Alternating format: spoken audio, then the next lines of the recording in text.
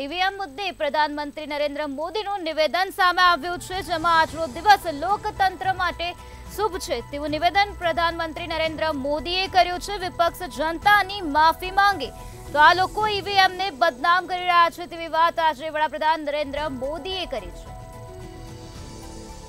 વિપક્ષ જનતાની માફી માંગે તેવી વાત આજે પીએમ મોદી દ્વારા કરવામાં આવી છે. ઈવીએમ મુદ્દે પ્રધાનમંત્રી નરેન્દ્ર મોદીનું નિવેદન સામે આવ્યું છે. આજનો દિવસ લોકતંત્ર માટે શુભ છે. વિપક્ષ જનતાની માફી માંગે, આ લોકો ઈવીએમને બદનામ કરી રહ્યા છે. તો આજે સુપ્રીમ કોર્ટ દ્વારા ઈવીએમને લઈને ચુકાદો સંભળાવવામાં આવ્યો કે ઈવીએમથી જ ચૂંટણી થશે અને મતદાન બાદ પિસ્તાલીસ દિવસ સુધી ઈવીએમ સુરક્ષિત રહેશે. आरजेडी कांग्रेस के इंडिया गठबंधन को ना देश के संविधान की परवाह है और ना ही लोकतंत्र की परवाह है।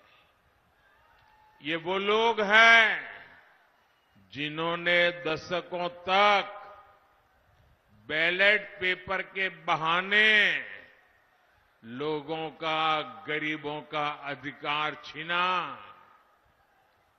पोलिंग बूथ लूट लिए जाते थे, बैलेट पेपर लूट लिए जाते थे।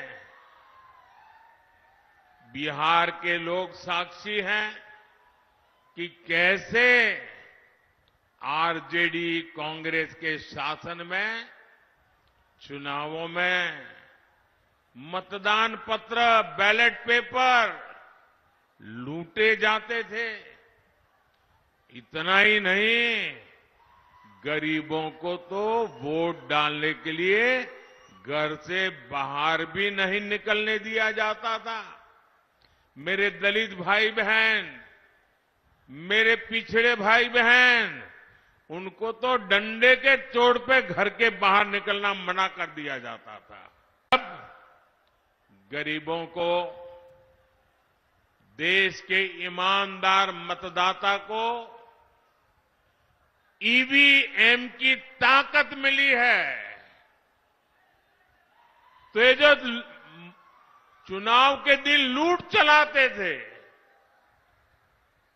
वोट हड़प करने के खेल खेलते थे, इन लोगों से बर्दाश्त नहीं हो रहा था।